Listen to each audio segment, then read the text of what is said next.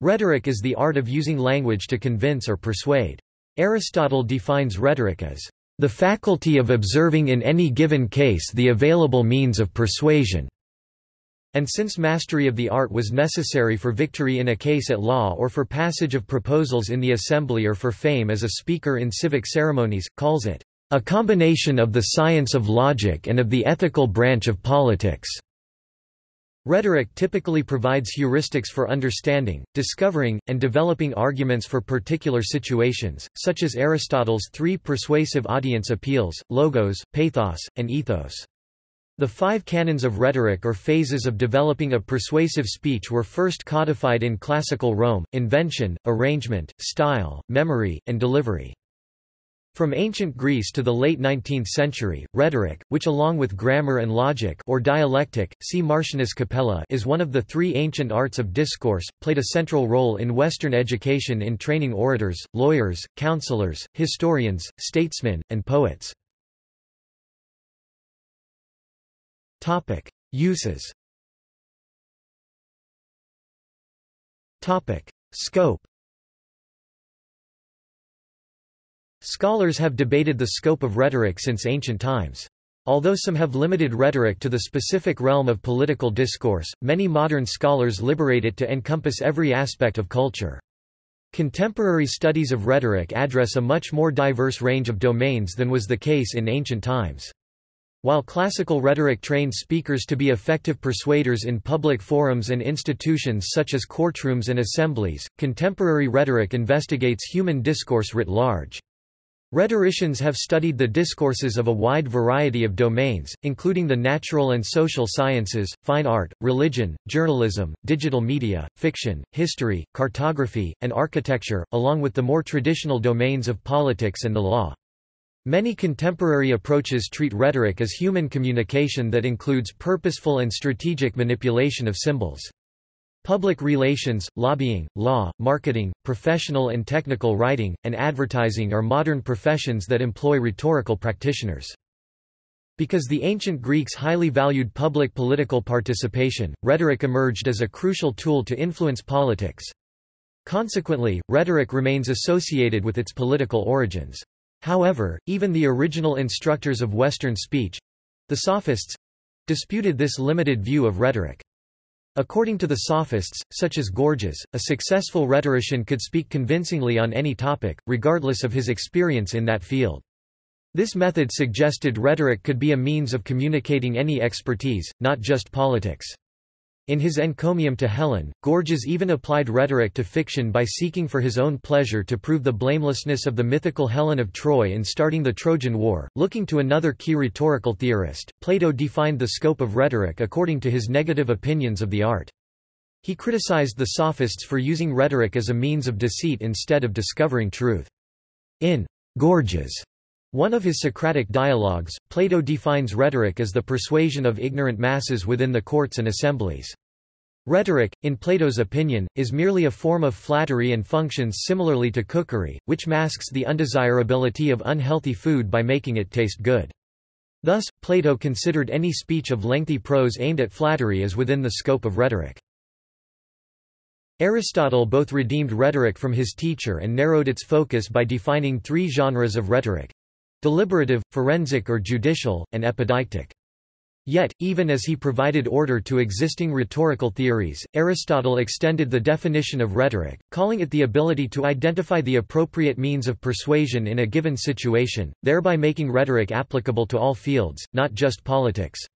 When one considers that rhetoric included torture in the sense that the practice of torture is a form of persuasion or coercion, it is clear that rhetoric cannot be viewed only in academic terms. However, the enthymeme based upon logic especially, based upon the syllogism was viewed as the basis of rhetoric. However, since the time of Aristotle, logic has changed. For example, modal logic has undergone a major development that also modifies rhetoric. Yet, Aristotle also outlined generic constraints that focused the rhetorical art squarely within the domain of public political practice. He restricted rhetoric to the domain of the contingent or probable, those matters that admit multiple legitimate opinions or arguments. The contemporary Neo-Aristotelian and Neo-Sophistic positions on rhetoric mirror the division between the Sophists and Aristotle. Neo-Aristotelians generally study rhetoric as political discourse, while the neo-sophistic view contends that rhetoric cannot be so limited. Rhetorical scholar Michael Leff characterizes the conflict between these positions as viewing rhetoric as a thing contained versus a container. The Neo-Aristotelian view threatens the study of rhetoric by restraining it to such a limited field, ignoring many critical applications of rhetorical theory, criticism, and practice. Simultaneously, the Neo-Sophists threaten to expand rhetoric beyond a point of coherent theoretical value. Over the past century, people studying rhetoric have tended to enlarge its object domain beyond speech texts. Kenneth Burke asserted humans use rhetoric to resolve conflicts by identifying shared characteristics and interests in symbols. By nature, humans engage in identification, either to identify themselves or another individual with a group.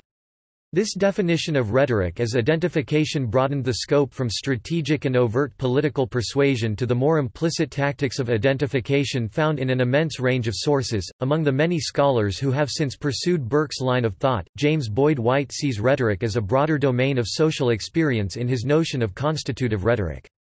Influenced by theories of social construction, White argues that culture is reconstituted through language. Just as language influences people, people influence language. Language is socially constructed, and depends on the meanings people attach to it. Because language is not rigid and changes depending on the situation, the very usage of language is rhetorical.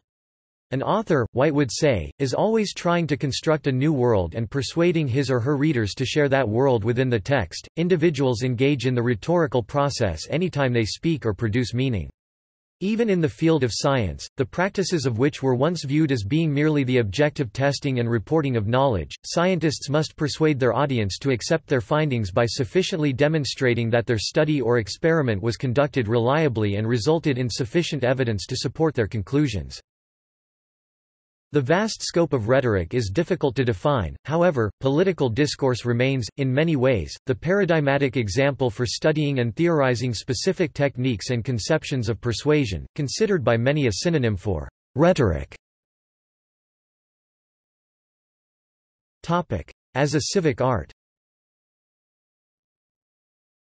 Throughout European history, rhetoric has concerned itself with persuasion in public and political settings such as assemblies and courts. Because of its associations with democratic institutions, rhetoric is commonly said to flourish in open and democratic societies with rights of free speech, free assembly, and political enfranchisement for some portion of the population. Those who classify rhetoric as a civic art believe that rhetoric has the power to shape communities, form the character of citizens and greatly affect civic life. Rhetoric was viewed as a civic art by several of the ancient philosophers. Aristotle and Isocrates were two of the first to see rhetoric in this light. In his work, Antidosis, Isocrates states, we have come together and founded cities and made laws and invented arts, and, generally speaking, there is no institution devised by man which the power of speech has not helped us to establish. With this statement he argues that rhetoric is a fundamental part of civic life in every society and that it has been necessary in the foundation of all aspects of society. He further argues in his piece against the sophists that rhetoric, although it cannot be taught to just anyone, is capable of shaping the character of man. He writes, I do think that the study of political discourse can help more than any other thing to stimulate and form such qualities of character. Aristotle, writing several years after Isocrates, supported many of his arguments and continued to make arguments for rhetoric as a civic art. In the words of Aristotle, in the rhetoric, rhetoric is the faculty of observing in any given case the available means of persuasion. According to Aristotle, this art of persuasion could be used in public settings in three different ways. He writes in Book 1, Chapter 3, a member of the assembly decides about future events, a juryman about past events, while those who merely decide on the orator's skill are observers. From this it follows that there are three divisions of oratory 1 political, 2 forensic, and 3 the ceremonial oratory of display.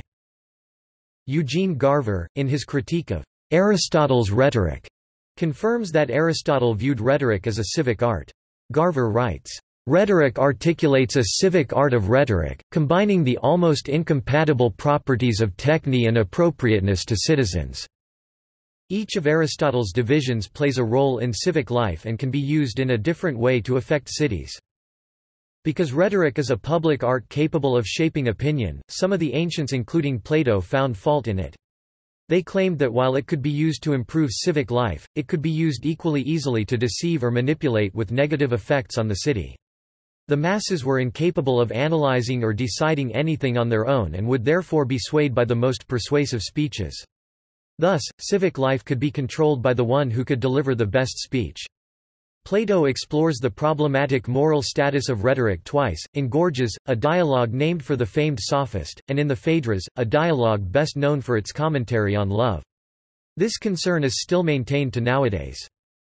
More trusting in the power of rhetoric to support a republic, the Roman orator Cicero argued that art required something more than eloquence. A good orator needed also to be a good man, a person enlightened on a variety of civic topics. He describes the proper training of the orator in his major text on rhetoric, De Oratore, modeled on Plato's dialogues. Modern-day works continue to support the claims of the ancients that rhetoric is an art capable of influencing civic life. In his work Political Style, Robert Hariman claims, Furthermore, questions of freedom, equality, and justice often are raised and addressed through performances ranging from debates to demonstrations without loss of moral content. James Boyd White argues further that rhetoric is capable not only of addressing issues of political interest but that it can influence culture as a whole. In his book, When Words Lose Their Meaning, he argues that words of persuasion and identification define community and civic life. He states that words produce the methods by which culture is maintained, criticized, and transformed. Both White and Hariman agree that words and rhetoric have the power to shape culture and civic life. In modern times, rhetoric has consistently remained relevant as a civic art. In speeches, as well as in non-verbal forms, rhetoric continues to be used as a tool to influence communities from local to national levels. As a course of study Rhetoric as a course of study has evolved significantly since its ancient beginnings. Through the ages, the study and teaching of rhetoric has adapted to the particular exigencies of the time and venue. The study of rhetoric has conformed to a multitude of different applications, ranging from architecture to literature. Although the curriculum has transformed in a number of ways, it has generally emphasized the study of principles and rules of composition as a means for moving audiences. Generally speaking, the study of rhetoric trains students to speak and or write effectively, as well as critically understand and analyze discourse. Rhetoric began as a civic art in ancient Greece where students were trained to develop tactics of oratorical persuasion, especially in legal disputes. Rhetoric originated in a school of pre-Socratic philosophers known as the Sophists circa 600 BC. Demosthenes and Lysias emerged as major orators during this period, and Isocrates and Gorgias as prominent teachers. Rhetorical education focused on five particular canons: inventio, invention; dispositio, arrangement; elocutio, style; memoria, memory; and actio, delivery. Modern teachings continue to reference these rhetorical leaders and their work in discussions of classical rhetoric and persuasion. Rhetoric was later taught in universities during the Middle Ages as one of the three original liberal arts or trivium along with logic and grammar. During the medieval period, political rhetoric declined as republican oratory died out and the emperors of Rome garnered increasing authority. With the rise of European monarchs in following centuries, rhetoric shifted into the courtly and religious applications. Augustine exerted strong influence on Christian rhetoric in the Middle Ages, advocating the use of rhetoric to lead audiences to truth and understanding, especially in the Church. The study of liberal arts, he believed, contributed to rhetorical study. In the case of a keen and ardent nature, fine words will come more readily through reading and hearing the eloquent than by pursuing the rules of rhetoric. Poetry and letter writing, for instance, became a central component of rhetorical study during the Middle Ages. After the fall of the Republic in Rome, poetry became a tool for rhetorical training since there were fewer opportunities for political speech. Letter writing was the primary form through which business was conducted both in state and church, so it became an important aspect of rhetorical education. Rhetorical education became more restrained as style and substance separated in 16th century France with Peter Ramus, and attention turned to the scientific method. That is, influential scholars like Ramus argued that the processes of invention and arrangement should be elevated to the domain of philosophy, while rhetorical instruction should be chiefly concerned with the use of figures and other forms of the ornamentation of language. Scholars such as Francis Bacon developed the study of scientific rhetoric. This concentration rejected the elaborate style characteristic of the classical oration. This plain language carried over to John Locke's teaching, which emphasized concrete knowledge and steered away from ornamentation in speech, further alienating rhetorical instruction, which was identified wholly with this ornamentation, from the pursuit of knowledge. In the 18th century, rhetoric assumed a more social role, initiating the creation of new education systems. Elocution schools arose predominantly in England in which females analysed classic literature, most notably the works of William Shakespeare, and discussed pronunciation tactics. The study of rhetoric underwent a revival with the rise of democratic institutions during the late 18th and early 19th centuries. Scotland's author and theorist Hugh Blair served as a key leader of this movement during the late 18th century. In his most famous work, Lectures on Rhetoric and Belles Lettres, he advocates rhetorical study for common citizens as a resource for social success. Many American colleges and secondary schools used Blair's text throughout the 19th century to train students of rhetoric. Political rhetoric also underwent renewal in the wake of the US and French revolutions.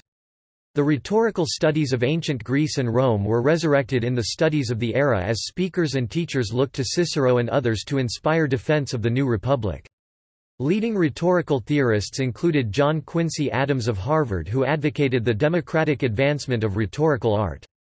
Harvard's founding of the Boylston Professorship of Rhetoric and Oratory sparked the growth of rhetorical study in colleges across the United States.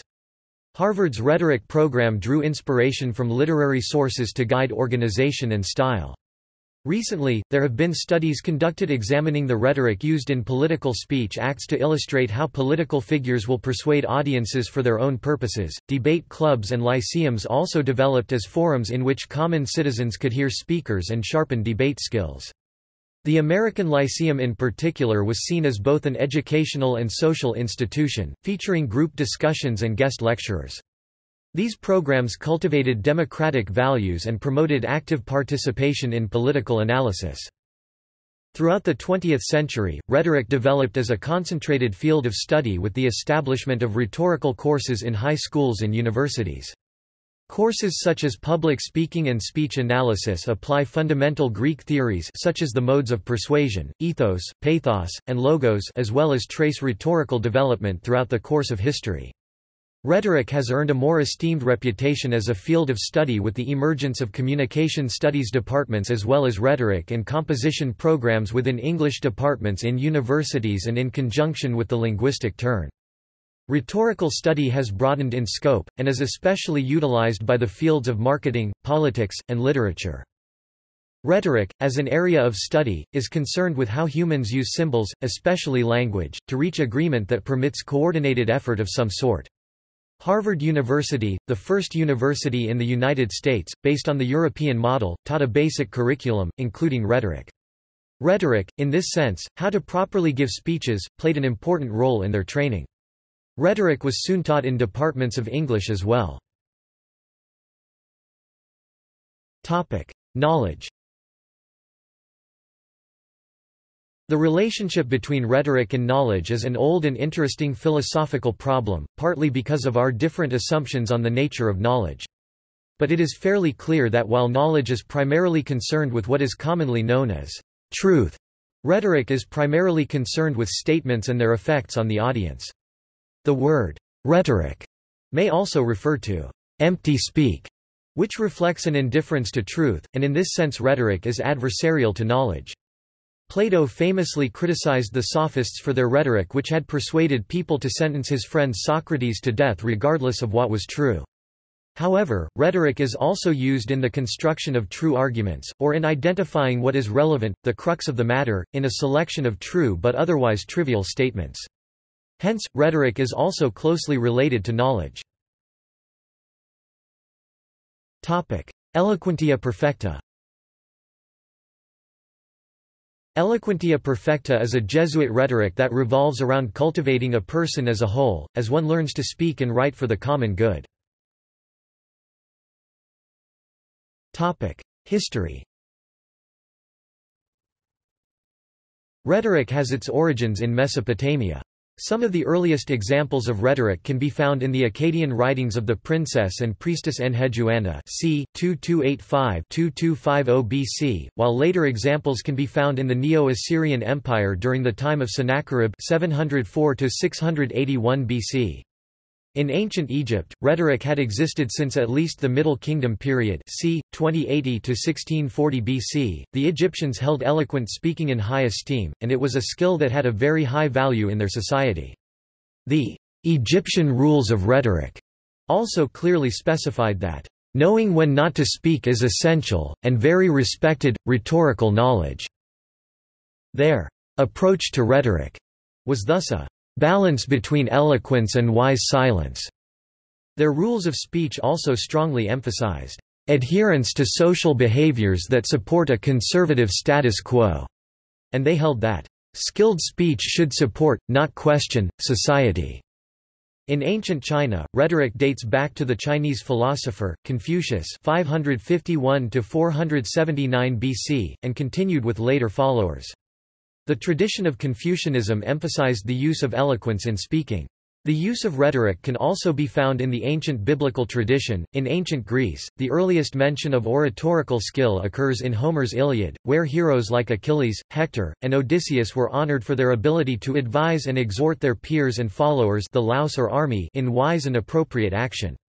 With the rise of the democratic polis, speaking skill was adapted to the needs of the public and political life of cities in ancient Greece, much of which revolved around the use of oratory as the medium through which political and judicial decisions were made, and through which philosophical ideas were developed and disseminated. For modern students today, it can be difficult to remember that the wide use and availability of written texts is a phenomenon that was just coming into vogue in classical Greece. In classical times, many of the great thinkers and political leaders performed their works before an audience, usually in the context of a competition or contest for fame, political influence, and cultural capital. In fact, many of them are known only through the texts that their students, followers, or detractors wrote down. As has already been noted, rhetor was the Greek term for orator. A rhetor was a citizen who regularly addressed juries and political assemblies and who was thus understood to have gained some knowledge about public speaking in the process, though in general facility with language was often referred to as logon techne, skill with arguments, or verbal artistry. Rhetoric thus evolved as an important art, one that provided the orator with the forms, means, and strategies for persuading an audience of the correctness of the orator's arguments. Today the term rhetoric can be used at times to refer only to the form of argumentation, often with the pejorative connotation that rhetoric is a means of obscuring the truth. Classical philosophers believed quite the contrary, the skilled use of rhetoric was essential to the discovery of truths, because it provided the means of ordering and clarifying arguments. Sophists In Europe, organized thought about public speaking began in ancient Greece. Possibly, the first study about the power of language may be attributed to the philosopher Empedocles d. c. 444 BC, whose theories on human knowledge would provide a newfound basis for many future rhetoricians. The first written manual is attributed to Corax and his pupil Tisias. Their work, as well as that of many of the early rhetoricians, grew out of the courts of law. Tisias, for example, is believed to have written judicial speeches that others delivered in the courts. Teaching in oratory was popularized in the 5th century BC by itinerant teachers known as sophists, the best known of whom were Protagoras c. 481–420 BC, Gorgias c. 483–376 BC, and Isocrates 436–338 BC. Aspasia of Miletus is believed to be one of the first women to engage in private and public rhetoric activities as a sophist. The sophists were a disparate group who traveled from city to city, teaching in public places to attract students and offer them an education. Their central focus was on logos or what we might broadly refer to as discourse, its functions and powers. They defined parts of speech, analyzed poetry, parsed close synonyms, invented argumentation strategies, and debated the nature of reality. They claim to make their students better, or, in other words, to teach virtue. They thus claimed that human excellence was not an accident of fate or a prerogative of noble birth, but an art or techne that could be taught and learned. They were thus among the first humanists. Several sophists also questioned received wisdom about the gods and the Greek culture, which they believed was taken for granted by Greeks of their time, making them among the first agnostics. For example, they argued that cultural practices were a function of convention or nomos rather than blood or birth or phusis. They argued even further that morality or immorality of any action could not be judged outside of the cultural context within which it occurred. The well-known phrase, "'Man is the measure of all things' arises from this belief. One of their most famous, and infamous, doctrines has to do with probability and counter-arguments. They taught that every argument could be countered with an opposing argument, that an argument's effectiveness derived from how likely it appeared to the audience its probability of seeming true, and that any probability argument could be countered with an inverted probability argument. Thus, if it seemed likely that a strong, poor man were guilty of robbing a rich, weak man, the strong poor man could argue, on the contrary, that this very likelihood that he would be a suspect makes it unlikely that he committed the crime, since he would most likely be apprehended for the crime. They also taught and were known for their ability to make the weaker or worse argument the stronger or better. Aristophanes famously parodies the clever inversions that sophists were known for in his play The Clouds.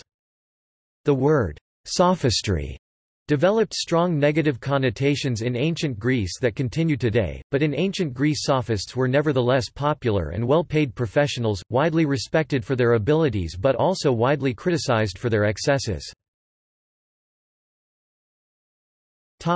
Isocrates Isocrates 436 338 BC, like the Sophists, taught public speaking as a means of human improvement, but he worked to distinguish himself from the Sophists, whom he saw as claiming far more than they could deliver. He suggested that while an art of virtue or excellence did exist, it was only one piece, and the least, in a process of self-improvement that relied much more heavily on native talent and desire, constant practice, and the imitation of good models. Isocrates believed that practice in speaking publicly about noble themes and important questions would function to improve the character of both speaker and audience while also offering the best service to a city. In fact, Isocrates was an outspoken champion of rhetoric as a mode of civic engagement. He thus wrote his speeches as models for his students to imitate in the same way that poets might imitate Homer or Hesiod, seeking to inspire in them a desire to attain fame through civic leadership. His was the first permanent school in Athens and it is likely that Plato's Academy and Aristotle's Lyceum were founded in part as a response to Isocrates. Though he left no handbooks, his speeches, Antidosis and Against the Sophists, are most relevant to students of rhetoric became models of oratory he was one of the canonical ten Attic orators, and keys to his entire educational program. He had a marked influence on Cicero and Quintilian, and through them, on the entire educational system of the West. Plato Plato 427 BC famously outlined the differences between true and false rhetoric in a number of dialogues, particularly the Gorgias and Phaedrus dialogues wherein Plato disputes the sophistic notion that the art of persuasion the sophist's art, which he calls rhetoric, can exist independent of the art of dialectic. Plato claims that since sophists appeal only to what seems probable, they are not advancing their students and audiences, but simply flattering them with what they want to hear. While Plato's condemnation of rhetoric is clear in the Gorgias, in the Phaedrus he suggests the possibility of a true art wherein rhetoric is based upon the knowledge produced by dialectic, and relies on a dialectically informed rhetoric to appeal to the main character, Phaedrus, to take up philosophy. Thus Plato's rhetoric is actually dialectic or philosophy turned toward those who are not yet philosophers and are thus unready to pursue dialectic directly. Plato's animosity against rhetoric, and against the sophists, derives not only from their inflated claims to teach virtue and their reliance on appearances, but from the fact that his teacher, Socrates, was sentenced to death after sophists' efforts. Aristotle Aristotle 384 BC was a student of Plato who famously set forth an extended treatise on rhetoric that still repays careful study today. In the first sentence of The Art of Rhetoric, Aristotle says that, "...rhetoric is the counterpart literally, the antistrophe of dialectic." as the antistrophe of a Greek ode responds to and is patterned after the structure of the strophe. They form two sections of the whole and are sung by two parts of the chorus, so the art of rhetoric follows and is structurally patterned after the art of dialectic because both are arts of discourse production. Thus, while dialectical methods are necessary to find truth in theoretical matters, rhetorical methods are required in practical matters such as adjudicating somebody's guilt or innocence when charged in a court of law, or adjudicating a prudent course of action to be taken in a deliberative assembly. The core features of dialectic include the absence of determined subject matter, its elaboration on earlier empirical practice, the explication of its aims, the type of utility and the definition of the proper function. For Plato and Aristotle, dialectic involves persuasion, so when Aristotle says that rhetoric is the antistrophe of dialectic, he means that rhetoric as he uses the term has a domain or scope of application that is parallel to, but different from, the domain or scope of application of dialectic. In Nietzsche Humanist 1998-129, Claude Pavur explains that t he Greek prefix anti does not merely designate opposition, but it can also mean in place of when Aristotle characterizes rhetoric as the antistrophe of dialectic, he no doubt means that rhetoric is used in place of dialectic when we are discussing civic issues in a court of law or in a legislative assembly. The domain of rhetoric is civic affairs and practical decision-making in civic affairs, not theoretical considerations of operational definitions of terms and clarification of thought. These, for him, are in the domain of dialectic. Aristotle's treatise on rhetoric systematically describes civic rhetoric as a human art or skill techne. It is more of an objective theory than it is an interpretive theory with a rhetorical tradition. Aristotle's art of rhetoric emphasizes persuasion as the purpose of rhetoric. His definition of rhetoric as the faculty of observing in any given case the available means of persuasion essentially a mode of discovery, limits the art to the inventional process, and Aristotle heavily emphasizes the logical aspect of this process. In his account, rhetoric is the art of discovering all available means of persuasion. A speaker supports the probability of a message by logical, ethical, and emotional proofs. Some form of logos, ethos, and pathos is present in every possible public presentation that exists. But the treatise in fact also discusses not only elements of style and briefly delivery, but also emotional appeals pathos and characterological appeals ethos. Aristotle identifies three steps or offices of rhetoric invention, arrangement, and style and three different types of rhetorical proof, ethos Aristotle's theory of character and how the character and credibility of a speaker can influence an audience to consider him, her to be believable, there being three qualities that contribute to a credible ethos, perceived intelligence, virtuous character, and goodwill, pathos the use of emotional appeals to alter the audience's judgment through metaphor, amplification, storytelling, or presenting the topic in a way that evokes strong emotions in the audience, and, logos the use of reasoning, either inductive or deductive, to construct an argument. Aristotle emphasized enthymematic reasoning as central to the process of rhetorical invention, though later rhetorical theorists placed much less emphasis on it. An enthymeme would follow today's form of a syllogism, however it would exclude either the major or minor premise. An enthymeme is persuasive because the audience is providing the missing premise. Because the audience is able to provide the missing premise, they are more likely to be persuaded by the message. Aristotle identified three different types or genres of civic rhetoric. Forensic also known as judicial, was concerned with determining the truth or falseness of events that took place in the past and issues of guilt. An example of forensic rhetoric would be in a courtroom. Deliberative also known as political, was concerned with determining whether or not particular actions should or should not be taken in the future. Making laws would be an example of deliberative rhetoric. Epideictic also known as ceremonial, was concerned with praise and blame, values, right and wrong, demonstrating beauty and skill in the present. Examples of epideictic rhetoric would include a eulogy or a wedding toast. Canons The five canons of rhetoric serve as a guide to creating persuasive messages and arguments. These are invention the process of developing arguments, arrangement organizing the arguments for extreme effect, style determining how to present the arguments, delivery the gestures, pronunciation, tone and pace used when presenting the persuasive arguments, and memory the process of learning and memorizing the speech and persuasive messages. In the rhetoric field, there is an intellectual debate about Aristotle's definition of rhetoric. Some believe that Aristotle defines rhetoric in On Rhetoric as the art of persuasion, while others think he defines it as the art of judgment. Rhetoric as the art of judgment would mean the reader discerns the available means of persuasion with a choice. Aristotle also says rhetoric is concerned with judgment because the audience judges the reader's ethos. One of the most famous of Aristotelian doctrines was the idea of topics also referred to as common topics or commonplaces. Though the term had a wide range of application as a memory technique or compositional exercise, for example it most often referred to the seats of argument, the list of categories of thought or modes of reasoning—that a speaker could use to generate arguments or proofs. The topics were thus a heuristic or inventional tool designed to help speakers categorize and thus better retain and apply frequently used types of argument. For example, since we often see effects as like their causes, one way to invent an argument about a future effect is by discussing the cause which it will be like. This and other rhetorical topics derive from Aristotle's belief that there are certain predictable ways in which humans particularly non-specialists draw conclusions from premises.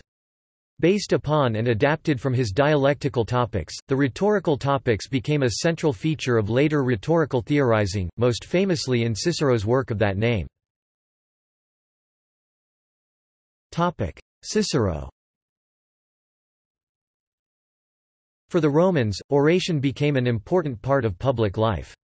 Cicero 106 BC was chief among Roman rhetoricians and remains the best-known ancient orator and the only orator who both spoke in public and produced treatises on the subject.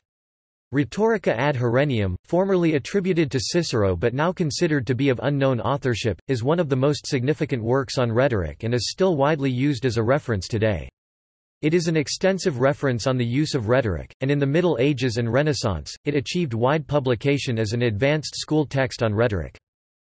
Cicero is considered one of the most significant rhetoricians of all time, charting a middle path between the competing Attic and Asiatic styles to become considered second only to Demosthenes among history's orators. His works include the early and very influential De Inventione on invention, often read alongside the Ad Herennium as the two basic texts of rhetorical theory throughout the Middle Ages and into the Renaissance, De Oratore a fuller statement of rhetorical principles in dialogue form, Topics a rhetorical treatment of common topics, highly influential through the Renaissance, Brutus Cicero a discussion of famous orators and Orator a defense of Cicero's style. Cicero also left a large body of speeches and letters which would establish the outlines of Latin eloquence and style for generations to come. It was the rediscovery of Cicero's speeches such as the defense of Archias and letters to Atticus by Italians like Petrarch that, in part, ignited the cultural innovations that we know as the Renaissance. He championed the learning of Greek and Greek rhetoric, contributed to Roman ethics, linguistics, philosophy, and politics, and emphasized the importance of all forms of appeal emotion, humor, stylistic range, irony and digression in addition to pure reasoning in oratory. But perhaps his most significant contribution to subsequent rhetoric, and education in general, was his argument that orators learn not only about the specifics of their case the hypothesis but also about the general questions from which they derived the theses. Thus, in giving a speech in defense of a poet whose Roman citizenship had been questioned, the orator should examine not only the specifics of that poet's civic status, he should also examine the role and value of poetry and of literature more generally in Roman culture and political life.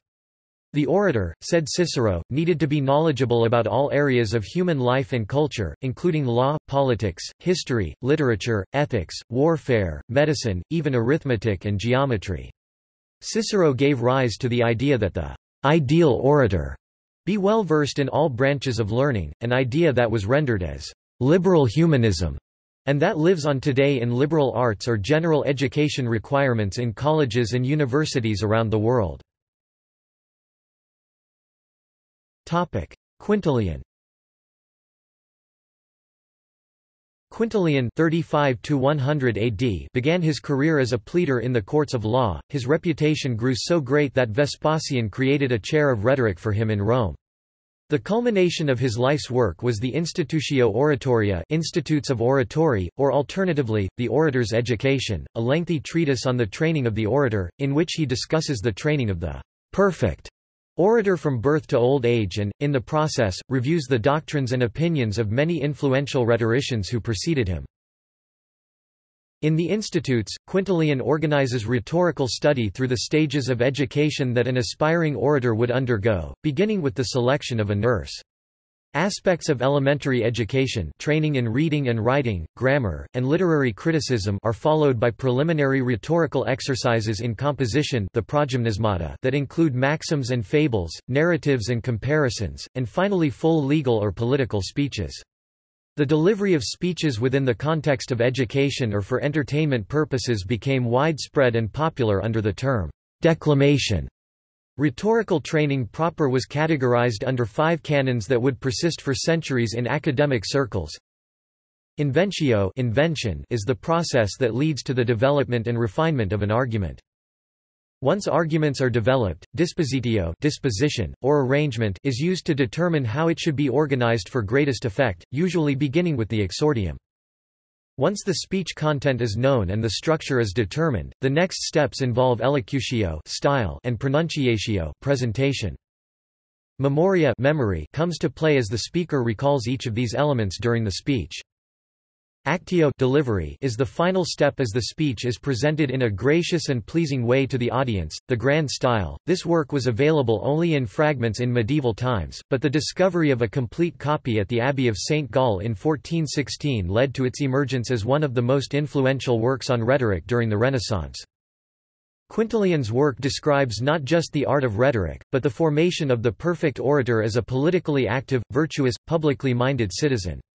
His emphasis was on the ethical application of rhetorical training, in part a reaction against the growing tendency in Roman schools towards standardization of themes and techniques. At the same time that rhetoric was becoming divorced from political decision-making, rhetoric rose as a culturally vibrant and important mode of entertainment and cultural criticism in a movement known as the Second Sophistic, a development that gave rise to the charge made by Quintilian and others that teachers were emphasizing style over substance in rhetoric.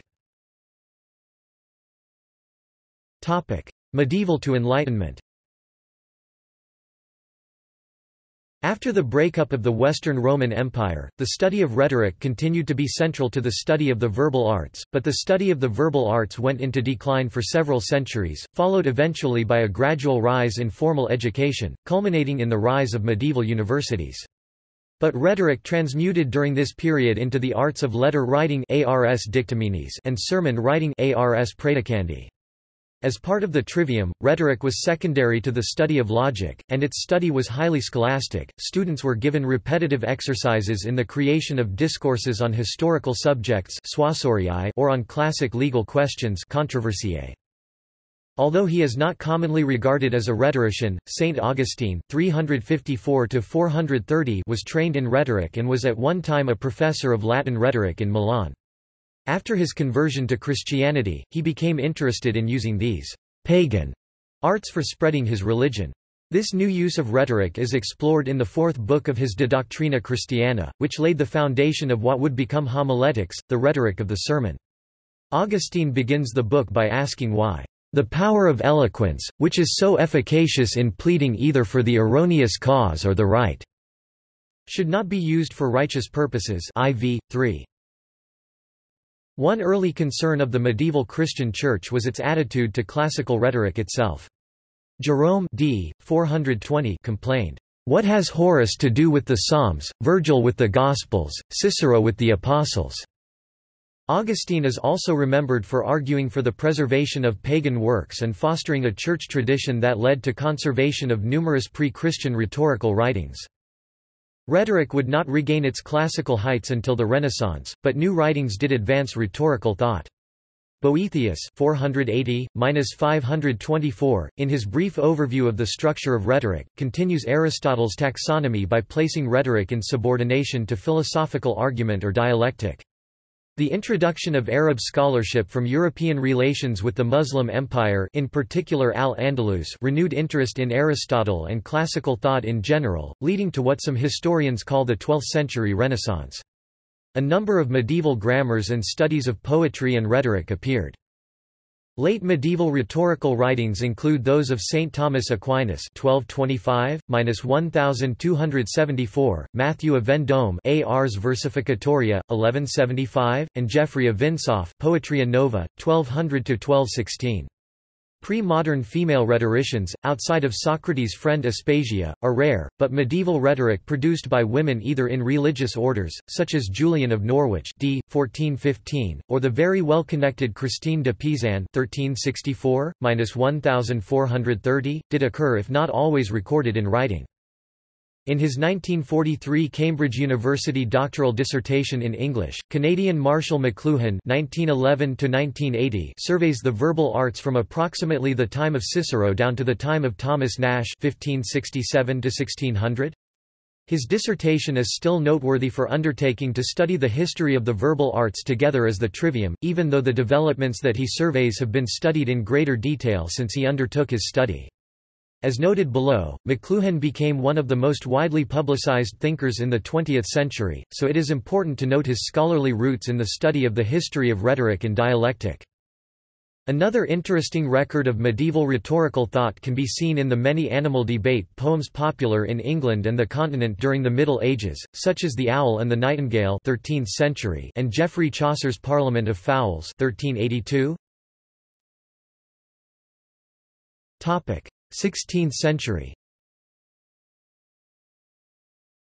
Walter J. Ong's article, Humanism, in the 1967 New Catholic Encyclopedia surveys Renaissance humanism, which defined itself broadly as disfavoring medieval scholastic logic and dialectic and as favoring instead the study of classical Latin style and grammar and philology and rhetoric, reprinted in Ong's Faith and Contexts Scholars Press, 1999, 4–69–91 one influential figure in the rebirth of interest in classical rhetoric was Erasmus c. 1466–1536. His 1512 work, De Duplici Copia Verborum et Rerum also known as Copia, Foundations of the Abundant Style, was widely published it went through more than 150 editions throughout Europe and became one of the basic school texts on the subject. Its treatment of rhetoric is less comprehensive than the classic works of antiquity, but provides a traditional treatment of res verba matter and form. Its first book treats the subject of elocutio, showing the student how to use schemes and tropes. The second book covers inventio. Much of the emphasis is on abundance of variation copia means plenty or abundance. As in copious or cornucopia, so both books focus on ways to introduce the maximum amount of variety into discourse. For instance, in one section of the De Copia, Erasmus presents 200 variations of the sentence, Semper, dum vivum, tui meminero. Another of his works, the extremely popular The Praise of Folly, also had considerable influence on the teaching of rhetoric in the later 16th century. Its orations in favor of qualities such as madness spawned a type of exercise popular in Elizabethan grammar schools, later called adoxography, which required pupils to compose passages in praise of useless things. Juan Luis Vives (1492–1540) also helped shape the study of rhetoric in England. A Spaniard, he was appointed in 1523 to the lectureship of rhetoric at Oxford by Cardinal Wolsey, and was entrusted by Henry VIII to be one of the tutors of Mary. Vives fell into disfavour when Henry VIII divorced Catherine of Aragon and left England in 1528. His best-known work was a book on education, De Disciplinis, published in 1531, and his writings on rhetoric included Rhetoricae, Sive de ratione dicendi, Libri Tres 1533, De Consultatione 1533, and a rhetoric on letter writing, De Conscribendis Epistolas 1536. It is likely that many well-known English writers were exposed to the works of Erasmus and Vives as well as those of the classical rhetoricians in their schooling, which was conducted in Latin not English and often included some study of Greek and placed considerable emphasis on rhetoric. See, for example, T.W. Baldwin's William Shakespeare's Small Latin and Less Greek, 2 vols. University of Illinois Press, 1944. The mid-16th century saw the rise of vernacular rhetorics, Those written in English rather than in the classical languages. Adoption of works in English was slow, however, due to the strong orientation toward Latin and Greek. Leonard Cox's The Art or Craft of Rhetoric c. 1524–1530, second edition published in 1532 is considered to be the earliest text on rhetorics in English. It was, for the most part, a translation of the work of Philip Melanchthon. A successful early text was Thomas Wilson's The Arte of Rhetoric 1553, which presents a traditional treatment of rhetoric. For instance, Wilson presents the five canons of rhetoric invention, disposition, elocutio, memoria, and utterance or actio. Other notable works included Angel Day's The English Secretory 1586, 1592, George Puttenham's The Arte of English Poesy 1589, and Richard Rainolde's Foundation of Rhetoric 1563. During this same period, a movement began that would change the organization of the school curriculum in Protestant and especially Puritan circles and led to rhetoric losing its central place. A French scholar, Pierre de la Ramée, in Latin Petrus Ramus (1515–1572), dissatisfied with what he saw as the overly broad and redundant organization of the trivium, proposed a new curriculum. In his scheme of things, the five components of rhetoric no longer lived under the common heading of rhetoric. Instead, invention and disposition were determined to fall exclusively under the heading of dialectic, while style, delivery, and memory were all that remained for rhetoric. See Walter J. Ong, Ramus, Method, and the Decay of Dialogue, From the Art of Discourse to the Art of Reason Harvard University Press, 1958, reissued by the University of Chicago Press, 2004, with a new foreword by Adrian Johns. Ramus was martyred during the French Wars of Religion. His teachings, seen as inimical to Catholicism, were short-lived in France but found a fertile ground in the Netherlands, Germany and England. One of Ramus' French followers, Audomarus Talaeus Omer Talon, published his Rhetoric, Institutiones Oratoriae, in 1544. This work provided a simple presentation of rhetoric that emphasized the treatment of style, and became so popular that it was mentioned in John Brinsley's 1612 Ludus Literarius, or the Grammar School as being the most used in the best schools.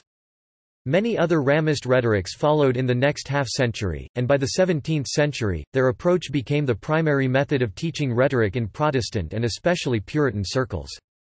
John Milton (1608–1674) wrote a textbook in logic or dialectic in Latin based on Ramus' work. Ramism could not exert any influence on the established Catholic schools and universities, which remained loyal to scholasticism, or on the new Catholic schools and universities founded by members of the religious orders known as the Society of Jesus or the Oratorians, as can be seen in the Jesuit curriculum in use right up to the 19th century across the Christian world, known as the Ratio Studiorum, that Claude Pavur, S. J., has recently translated into English, with the Latin text in the parallel column on each page St. Louis, Institute of Jesuit Sources, 2005. If the influence of Cicero and Quintilian permeates the Ratio Studiorum, it is through the lenses of devotion and the militancy of the Counter-Reformation.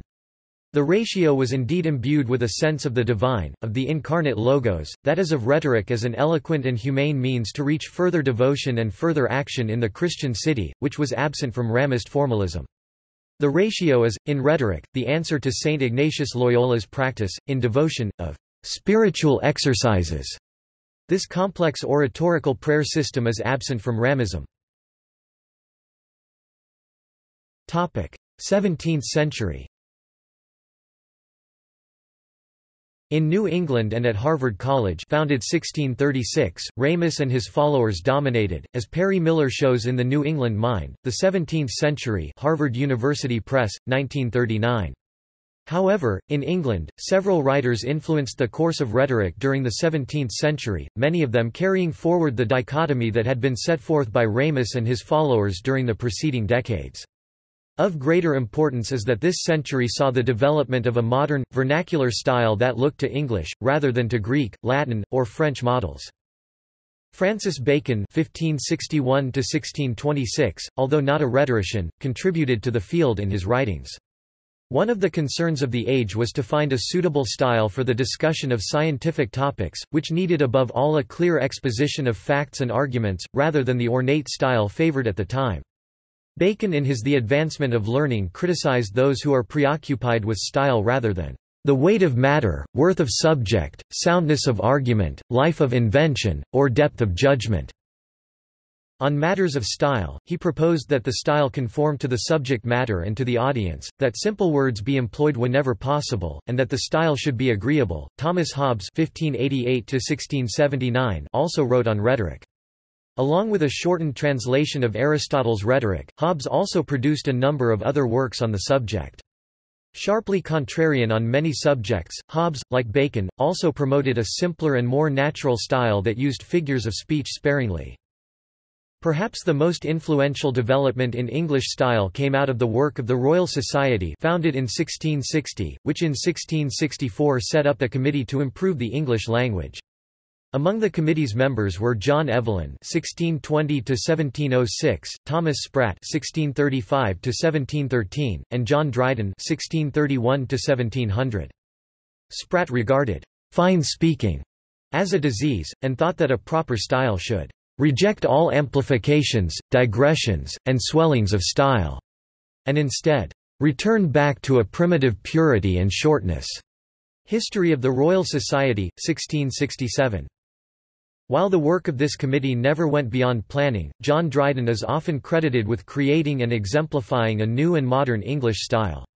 His central tenet was that the style should be proper to the occasion, the subject, and the persons.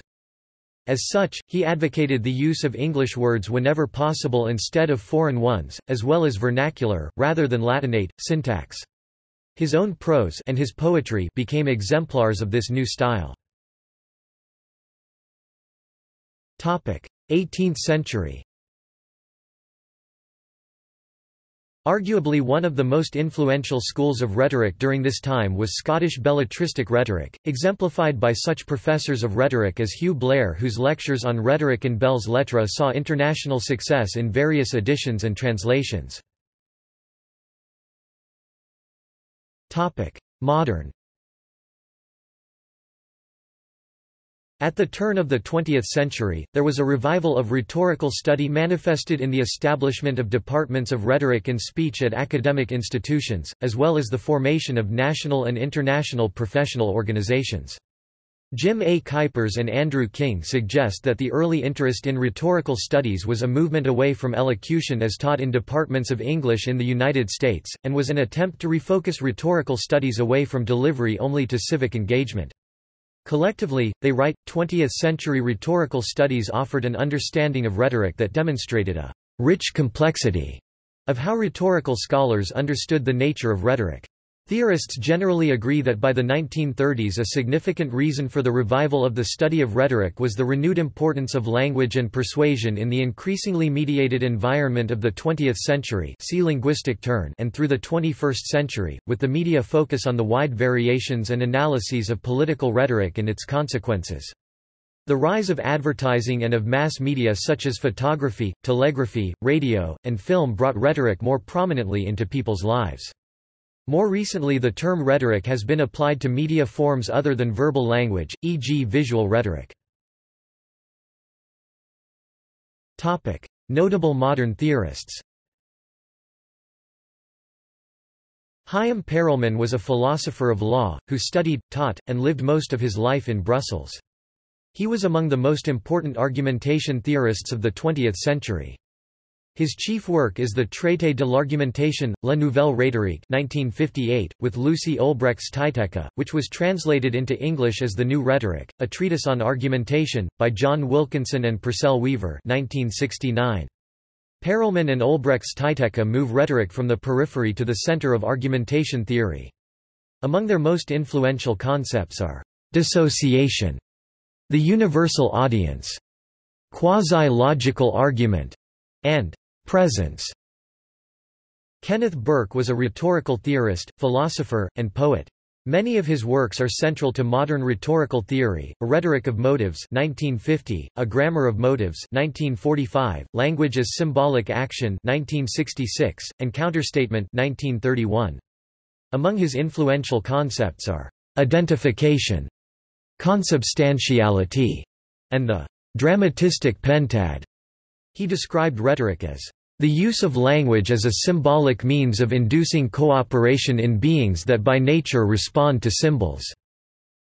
In relation to Aristotle's theory, Aristotle was more interested in constructing rhetoric, while Burke was interested in debunking it. Edwin Black was a rhetorical critic best known for his book Rhetorical Criticism, A Study in Method 1965, in which he criticized the dominant neo-Aristotelian tradition in American rhetorical criticism as having little in common with Aristotle. Besides some recurrent topics of discussion and a vaguely derivative view of rhetorical discourse.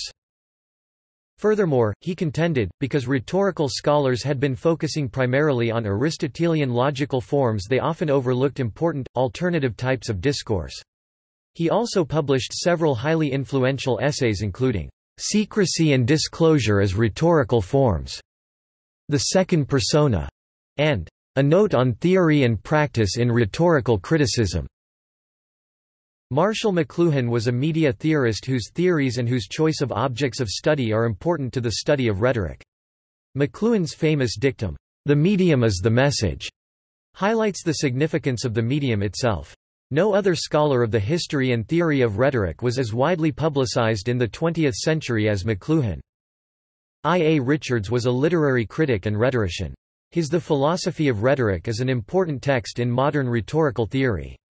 In this work, he defined rhetoric as a study of misunderstandings and its remedies, and introduced the influential concepts tenor and vehicle to describe the components of a metaphor—the main idea and the concept to which it is compared.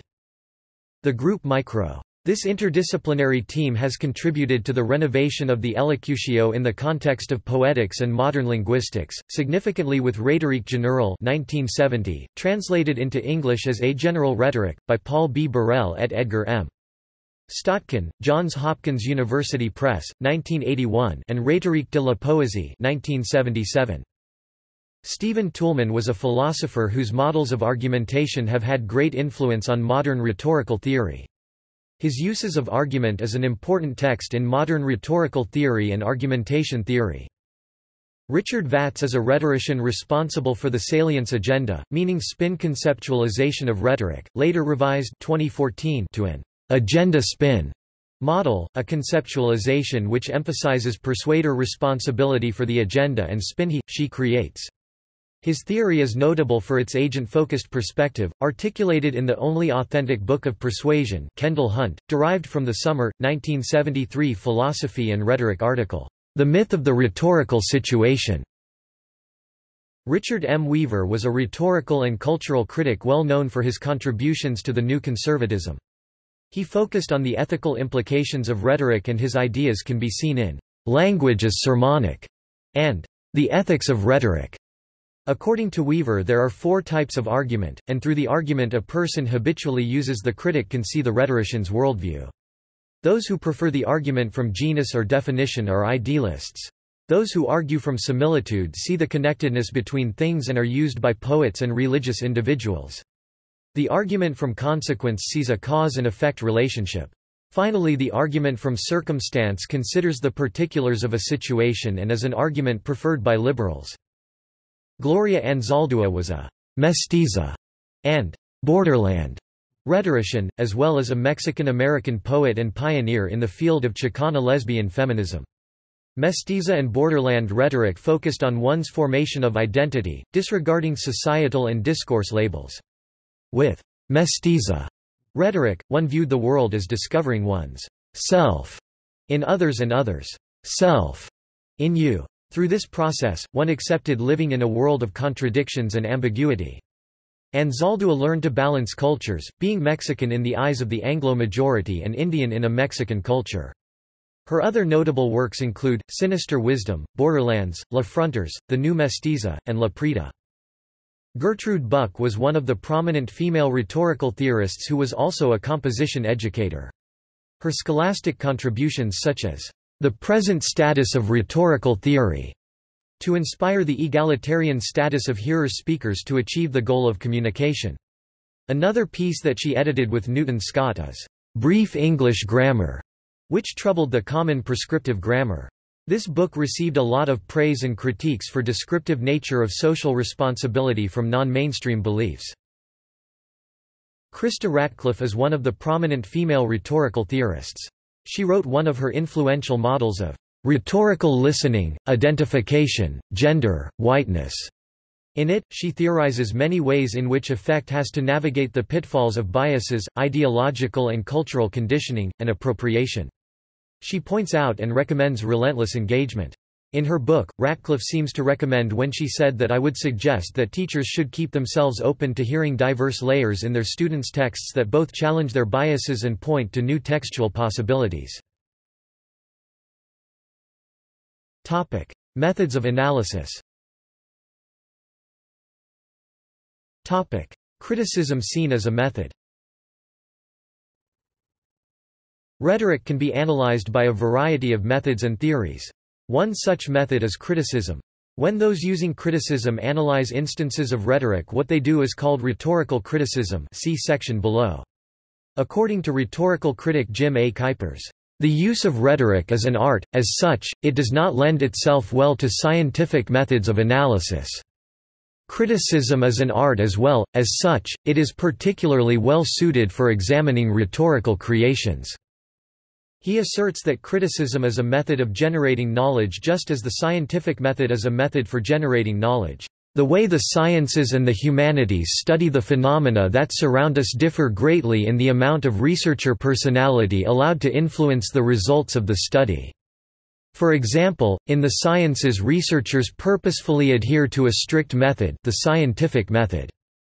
All scientific researchers are to use this same basic method, and successful experiments must be 100% replicable by others.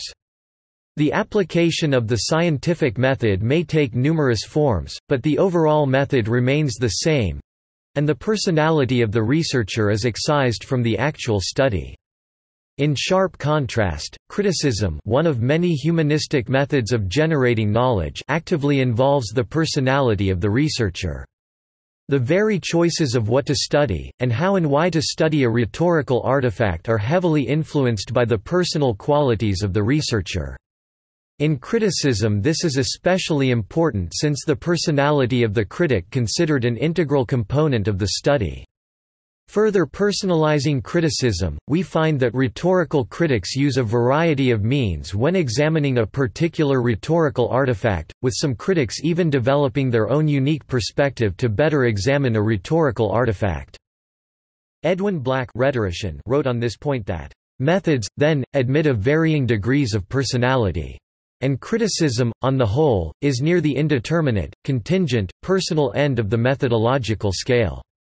In consequence of this placement, it is neither possible nor desirable for criticism to be fixed into a system, for critical techniques to be objectified, for critics to be interchangeable for purposes of scientific replication, or for rhetorical criticism to serve as the handmaiden of quasi-scientific theory. The idea is that critical method is too personally expressive to be systematized. Jim A. Kuypers sums this idea of criticism as art in the following manner. In short, criticism is an art, not a science.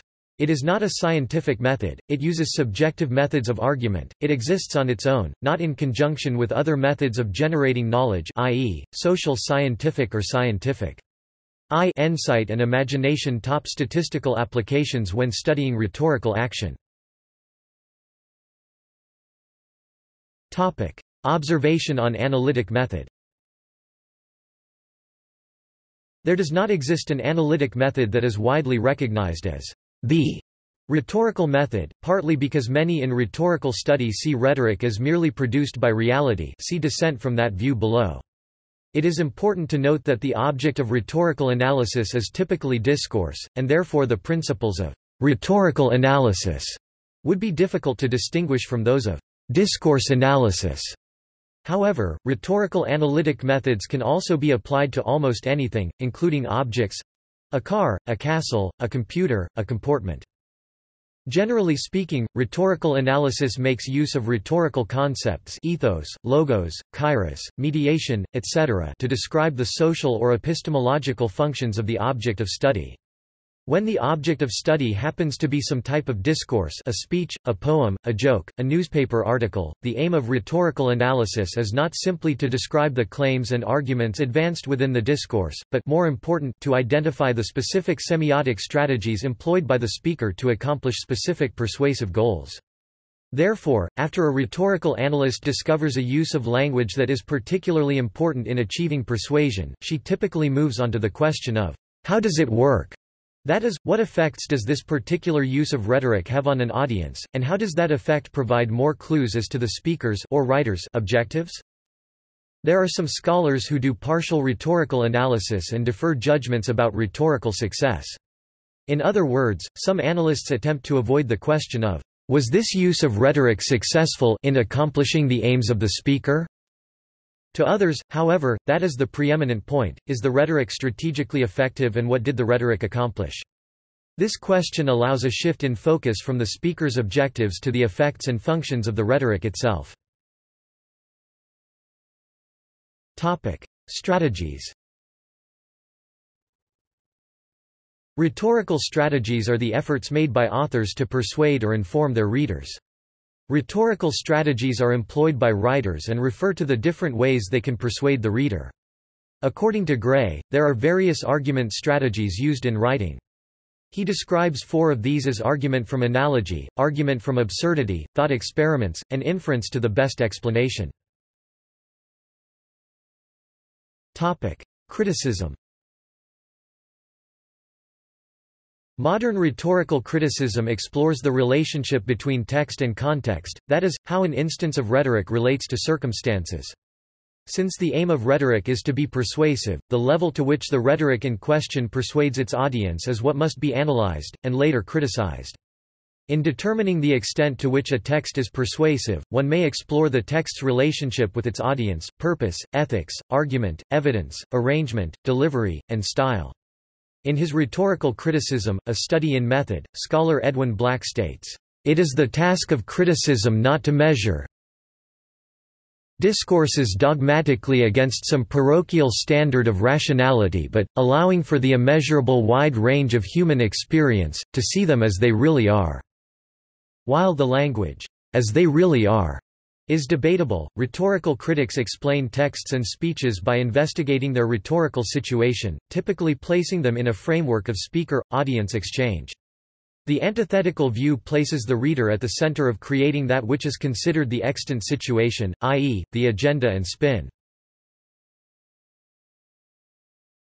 Topic: Additional theoretical approaches Following the Neo-Aristotelian approaches to criticism, scholars began to derive methods from other disciplines, such as history, philosophy, and the social sciences. The importance of critics' personal judgment decreased in explicit coverage while the analytical dimension of criticism began to gain momentum. Throughout the 1960s and 1970s, methodological pluralism replaced the singular Neo-Aristotelian method. Methodological rhetorical criticism is typically done by deduction, where a broad method is used to examine a specific case of rhetoric. These types include Ideological criticism – Critics engage rhetoric as it suggests the beliefs, values, assumptions, and interpretations held by the reader or the larger culture. Ideological criticism also treats ideology as an artifact of discourse, one that is embedded in key terms called ideographs as well as material resources and discursive embodiment. Cluster criticism, a method developed by Kenneth Burke that seeks to help the critic understand the reader's worldview. This means identifying terms that are clustered around key symbols in the rhetorical artifact and the patterns in which they appear. Frame analysis, when used as rhetorical criticism, this theoretical perspective allows critics to look for how readers construct an interpretive lens in their discourse. In short, how they make certain facts more noticeable than others. It is particularly useful for analyzing products of the news media. Generic criticism, a method that assumes certain situations call for similar needs and expectations within the audience, therefore calling for certain types of rhetoric. It studies rhetoric in different times and locations, looking at similarities in the rhetorical situation and the rhetoric that responds to them. Examples include eulogies, inaugural addresses, and declarations of war. Narrative criticism – Narratives help organize experiences in order to endow meaning to historical events and transformations. Narrative criticism focuses on the story itself and how the construction of the narrative directs the interpretation of the situation. By the mid 1980s, however, the study of rhetorical criticism began to move away from precise methodology towards conceptual issues. Conceptually driven criticism operates more through abduction, according to scholar James Jasinski, who argues that this emerging type of criticism can be thought of as a back and forth between the text and the concepts, which are being explored at the same time. The concepts remain works in progress, and understanding those terms develops through the analysis of a text. Criticism is considered rhetorical when it focuses on the way some types of discourse react to situational exigencies problems or demands and constraints. This means that modern rhetorical criticism is based in how the rhetorical case or object persuades, defines, or constructs the audience. In modern terms, what can be considered rhetoric includes, but it is not limited to, speeches, scientific discourse, pamphlets, literary work, works of art, and pictures. Contemporary rhetorical criticism has maintained aspects of early Neo-Aristotelian thinking through close reading, which attempts to explore the organization and stylistic structure of a rhetorical object. Using close textual analysis means rhetorical critics use the tools of classical rhetoric and literary analysis to evaluate the style and strategy used to communicate the argument. Purpose of criticism Rhetorical criticism serves several purposes or functions. First, rhetorical criticism hopes to help form or improve public taste. It helps educate audiences and develops them into better judges of rhetorical situations by reinforcing ideas of value, morality, and suitability. Rhetorical criticism can thus contribute to the audience's understanding of themselves and society. According to Jim A. Kuypers, a dual purpose for performing criticism should be primarily to enhance our appreciation and understanding. We wish to enhance both our own and others' understanding of the rhetorical act, we wish to share our insights with others, and to enhance their appreciation of the rhetorical act. These are not hollow goals, but quality of life issues. By improving understanding and appreciation, the critic can offer new and potentially exciting ways for others to see the world. Through understanding we also produce knowledge about human communication, in theory this should help us to better govern our interactions with others. Criticism is a humanizing activity in that it explores and highlights qualities that make us human. French Rhetoric was part of the curriculum in Jesuit and, to a lesser extent, Oratorian colleges until the French Revolution. For Jesuits, right from the foundation of the society in France, rhetoric was an integral part of the training of young men toward taking up leadership positions in the church and in state institutions, as Marc Fumaroli has shown it in his foundational Age de l'éloquence 1980. The Oratorians, by contrast, reserved it a lesser place, in part due to the stress they placed on modern language acquisition and a more sensualist philosophy like Bernard Lamy's La rhétorique ou l'art de parler 1675, which is an excellent example of their approach. Nonetheless, in the 18th century, rhetoric was the structure and crown of secondary education, with works such as Rollin's Treatise of Studies achieving a wide and enduring fame across the continent. Later, with Nicolas Boileau and François de Malherbe, rhetoric is the instrument of the clarity of the comment and speech, the literature that ensues from it is named sublime. The main representative remains Rivarol. The French Revolution, however, turned this around. Philosophers such as Condorcet, who drafted the French revolutionary chart for a people's education under the rule of reason, dismissed rhetoric as an instrument of oppression in the hands of clerics in particular. The revolution went as far as to suppress the bar, arguing that forensic rhetoric did disservice to a rational system of justice, by allowing fallacies and emotions to come into play.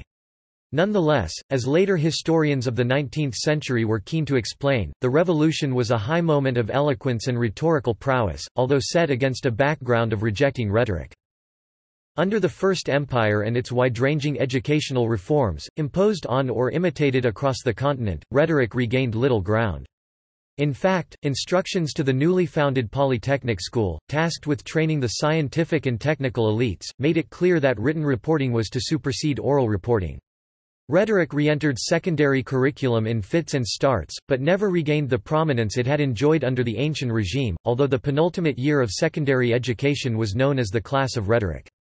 When manuals were redrafted in the mid-century, in particular after the 1848 revolution to formulate a national curriculum, care was taken to distance their approach to rhetoric from that of the Church, which was seen as an agent of conservatism and reactionary politics.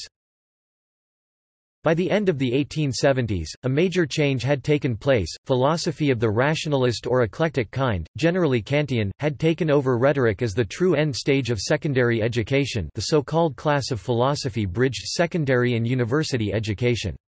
Rhetoric was then relegated to the study of literary figures of speech, a discipline later on taught as stylistics within the French literature curriculum. More decisively, in 1890, a new standard written exercise superseded the rhetorical exercises of speech writing, letter writing and narration. The new genre, called dissertation, had been invented in 1866, for the purpose of rational argument in the philosophy class. Typically, in a dissertation, a question is asked, such as, "'Is history a sign of humanity's freedom?' The structure of a dissertation consists in an introduction that elucidates the basic definitions involved in the question as set, followed by an argument or thesis, a counter-argument or antithesis, and a resolving argument or synthesis that is not a compromise between the former but the production of a new argument, ending with a conclusion that does not sum up the points but opens onto a new problem. Hegelianism influenced the dissertation design. It remains today the standard of writing in French humanities. By the beginning of the 20th century, rhetoric was fast losing the remains of its former importance, and eventually was taken out of the school curriculum altogether at the time of the separation of state and churches 1905. Part of the argument was that rhetoric remained the last element of irrationality, driven by religious arguments, in what was perceived as inimical to republican education. The move, initiated in 1789, found its resolution in 1902 when rhetoric was expunged from all curricula. At the same time, Aristotelian rhetoric, owing to a revival of Thomistic philosophy initiated by Rome, regained ground in what was left of Catholic education in France, in particular at the prestigious Faculty of Theology of Paris, now a private entity. Yet, rhetoric vanished substantially from the French scene, educational or intellectual, for some 60 years. In the early 1960s a change began to take place, as the word rhetoric and the body of knowledge it covers began to be used again, in a modest and almost secret manner. The new linguistic turn, through the rise of semiotics as well as of structural linguistics, brought to the fore a new interest in figures of speech as signs, the metaphor in particular in the works of Roman Jakobson, Group Micro, Michel Charles, Gérard Genette while famed structuralist Roland Barthes, a classicist by training, perceived how some basic elements of rhetoric could be of use in the study of narratives, fashion and ideology. Knowledge of rhetoric was so dim in the early 1970s that his short memoir on rhetoric was seen as highly innovative. Basic as it was, it did help rhetoric regain some currency in avant-garde circles. Psychoanalyst Jacques Lacan, his contemporary, makes references to rhetoric, in particular to the pre-Socratics. Philosopher Jacques Derrida wrote on voice. At the same time, more profound work was taking place that eventually gave rise to the French school of rhetoric as it exists today. This rhetorical revival took place on two fronts.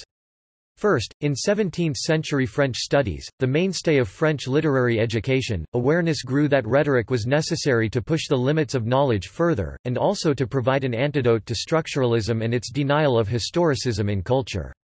This was the pioneering work of Marc Fumaroli who, building on the work of classicist and neo-Latinist Alain Michel and French scholars such as Roger Zuber, published his famed Age de l'Eloquence 1980, was one of the founders of the International Society for the History of Rhetoric and was eventually elevated to a chair in rhetoric at the prestigious Collège de France. He is the editor-in-chief of a monumental history of rhetoric in modern Europe. His disciples form the second generation, with rhetoricians such as Françoise Waquet and Delphine Denis, both of the Sorbonne, or Philippe Joseph Salazar Fr. Philippe Joseph Salazar on the French Wikipedia, until recently at Derrida's Collège International de Philosophie, laureate of the Harry Oppenheimer Prize and whose recent book on hyperpolitique has attracted the French media's attention on a reappropriation of the means of production of persuasion. Second, in the area of classical studies, in the wake of Alain Michel, Latin scholars fostered fostered a renewal in Cicero studies. They broke away from a pure literary reading of his orations, in an attempt to embed Cicero in European ethics. Meanwhile, among Greek scholars, the literary historian and philologist Jacques Bompaire, the philologist and philosopher E. de Prael, and later the literature historian Jacqueline de Romilly pioneered new studies in the Sophists and the Second Sophistic. The second generation of classicists, often trained in philosophy as well following Heidegger and Derrida, mainly, built on their work, with authors such as Marcel Détienne now at Johns Hopkins, Nicole Loraux, medievalist and logician Alain de Libera Geneva, Ciceronian scholar Carlos Lévy Sorbonne, Paris and Barbara Cassin Collège International de Philosophie, Paris. Sociologist of science Bruno Latour and economist Romain Laufer may also be considered part of, or close to this group. Also French philosophers specialized in Arabic commentaries on Aristotle's rhetoric. Links between the two strands, literary and philosophical, of the French school of rhetoric are strong and collaborative, and bear witness to the revival of rhetoric in France. A recent issue of Philosophy and Rhetoric presents current writing in the field. Topic animal rhetoric Rhetoric is practiced by social animals in a variety of ways. For example, birds use song, various animals warn members of their species of danger, chimpanzees have the capacity to deceive through communicative keyboard systems, and deer stags compete for the attention of mates. While these might be understood as rhetorical actions attempts at persuading through meaningful actions and utterances, they can also be seen as rhetorical fundamentals shared by humans and animals. The study of animal rhetoric has been described as biorhetorics. The self awareness required to practice rhetoric might be difficult to notice and acknowledge in some animals. However, some animals are capable of acknowledging themselves in a mirror, and therefore, they might be understood to be self-aware and engaged in rhetoric when practicing some form of language, and therefore, rhetoric. Anthropocentrism plays a significant role in human-animal relationships, reflecting and perpetuating binaries in which humans are assumed to be beings that have extraordinary qualities while animals are regarded as beings that lack those qualities. This dualism is manifested through other forms as well, such as reason and sense, mind and body, ideal and phenomenon in which the first category of each pair reason, mind, and ideal represents and belongs to only humans. By becoming aware of and overcoming these dualistic conceptions including the one between humans and animals, human knowledge of themselves and the world is expected to become more complete and holistic. The relationship between humans and animals as well as the rest of the natural world is often defined by the human rhetorical act of naming and categorizing animals through scientific and folk labeling. The act of naming partially defines the rhetorical relationships between humans and animals, though both may be understood to engage in rhetoric beyond human naming and categorizing. Contrary to the binary assumptions deriving from anthropocentrism, which regarded animals as creatures without extraordinarily qualities, it does exist some specific animals with a sort of phronesis which confers them capabilities to learn and receive instruction, with rudimentary understanding of some significant signs. Those animals do practice deliberative, judicial, and epideictic rhetoric deploying ethos, logos, and pathos with gesture and preen, sing and growl. Since animals offer models of rhetorical behavior and interaction that are physical, even instinctual, but perhaps no less artful, getting rid of our accustomed focus on verbal language and consciousness concepts will help people interested in rhetoric and communication matters promote human-animals rhetoric. See also Miscellaneous terms Political speech resources List of political slogans List of speeches Topic. Notes Topic. References Primary sources The Locus Classicus for Greek and Latin primary texts on rhetoric is the Loeb Classical Library of the Harvard University Press, published with an English translation on the facing page. Aristotle. Rhetoric. Cicero. De Inventione. Latin only. Dot. De Oratore. Latin only. Demosthenes. Orations. Greek. English. Cornificius. De Ratione Dicendi. Latin only. Isocrates. Against the Sophists. Henry Peacham. The Garden of Eloquence. George Puttenham. The Arte of Poesy, at Representative Poetry Online Quintilian. Institutio Oratoria. Johannes Susenbrotus. Epitome Troporum. Thomas Wilson. The Arte of Rhetoric, secondary source: sourceschrift van Buren, die Werk der Barmherzigkeit in der Kunst des 12-18. Jahrhunderts. Zum Wandel eines Bildmotivs vor dem Hintergrund neuzeitlicher Rhetorikrezeption Studien zur Kunstgeschichte, Volume 115, Hildesheim, Zurich, New York, Verlag Georg Olms 1998. ISBN 3-487-10319-2. Bernard K. Duffy and Martin Jacobi, The Politics of Rhetoric, Richard Weaver and the Conservative Tradition Westport, C.T., Greenwood Press, 1993. ISBN 0-313-25713-2 Eugene Garver, Aristotle's Rhetoric, An Art of Character University of Chicago Press, 1994. ISBN 978-0-226-28425-5. Lisa Jardine, Francis Bacon, Discovery and the Art of Discourse Cambridge University Press, 1975 Charles U. Larson, Persuasion Reception and Responsibility 12th edition, Wadsworth Cengage Learning 2012. Jacqueline de Romilly, The Great Sophists in Periclean Athens French Origin. 1988, English trans. Clarendon Press, Oxford University Press, 1992. William Safire, Lend Me Your Ears, Great Speeches in History 2004 ISBN 978 0 393 05931 1. Amalie Oxenberg Rorty, Aristotle's Rhetoric Los Angeles, United States of America 1996. Topic. Further reading Andresen, Volker. Speak Well in Public 10 Steps to Succeed. ISBN 1-4563-1026-7. Duffy, Bernard K. and Richard Leeman, eds. American Voices, An Encyclopedia of Contemporary Orators Westport, C.T., Greenwood, 2005. ISBN 0-313-32790-4 Cox, Leonard. The Art or Craft of Rhetoric at Project Gutenberg. Garver, Eugene. Aristotle's Rhetoric, on Art of Character. Chicago, University of Chicago Press, 1995. ISBN 978-0-226-28425-5 Jasinski, James. Sourcebook on Rhetoric. Sage Publications, Inc. 2001. Kennedy, George A. Aristotle, On Rhetoric. Oxford, Oxford University Press, 1991. Kuypers, Jim A. ed. Purpose, Practice, and Pedagogy in Rhetorical Criticism Lanham, M.D., Lexington Press, 2014. ISBN 978-0-7391-8018-1 Kuypers, Jim A. and Andrew King. 20th Century Roots of Rhetorical Studies Westport, C.T., Praeger, 2001. ISBN 0-275-96420-5 Mateus, Samuel. Introdução a Rhetorica no Sake. 21. Kovala, Livros Labcom, 2018 ISBN 978-989-654-438-6 Rainolde or Reinhold, Richard.